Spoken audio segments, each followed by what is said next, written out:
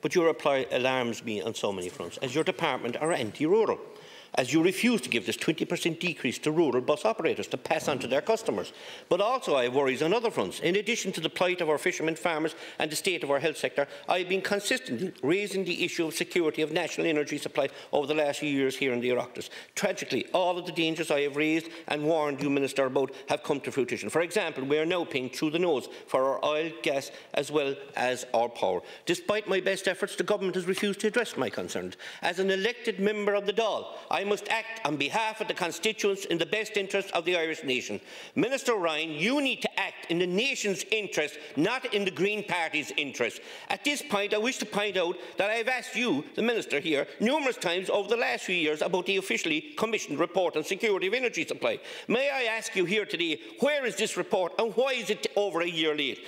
We are now in an unprecedented crisis, Minister, and it seems, Minister, you are not able to take decisions around the national gas supply due to party politics. And you talk about connecting Ireland. $350,000, every company is going to get this, this time. I think in Cork County we can only deliver two, Thanks not new services, just services that are there already. So these people need a 20% decrease. Are you going to give it? Are you going to refuse it to rural Ireland and keep it for the capital? That's where the carbon tax is going of this country. Is to you, the state Dublin, the people of the capital, but not to the people of rural Ireland. What, what, what? I'm talking not to you, Minister. I'm talking to the Minister there. Please. I'm well able to talk to me. I don't need. I don't please. need any. I don't need any lecture from you.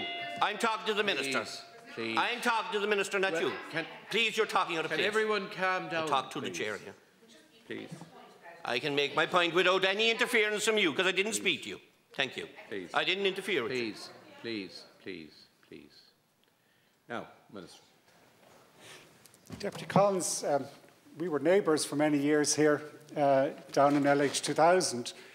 And I'm sure you had the same experience with me. Do you remember the first day you walked through the gates of Leinster House? It's, you're just tingle up your spine. It's a kind of, and I think we all have share something that in our constitutional democratic republic, that when you're elected a TD for a constituency, you represent all the people of Cork Southwest. I represent all the people of Dublin Bay South, regardless who they vote for be they vote for Chris Andrews or for Ivana or whoever, I think when we're elected TDs, we do have that tradition that we represent all the people. And I think in government, if I was giving advice to everyone, anyone in government, and I think everyone really gets this anyway, that if you're elected for government, you're not just thinking about everyone in your constituency, you're thinking about every constituency across the country. You act and serve, we all act and serve in the national interest, to try our best, to do our best for all our people. That's the republic that we that's what the proclamation and the, our, tells us. That report on energy security we need to conclude quickly now. One of the complications is we have a lot of interest in Cork, as an example, which are looking to see that there's the potential to convert the huge wind energy we have offshore to hydrogen. Thank you, Minister. In Cork Harbour, in Whiddy, in Bantry Bay. And yes, that's complicated to understand is that the right investment? Or what else do we need? We will have to conclude that quickly. Time is up. But we'll do it in a way that gives security and looks after the best interests of our people. Thank you very much, Minister. That concludes uh, leaders' questions for today.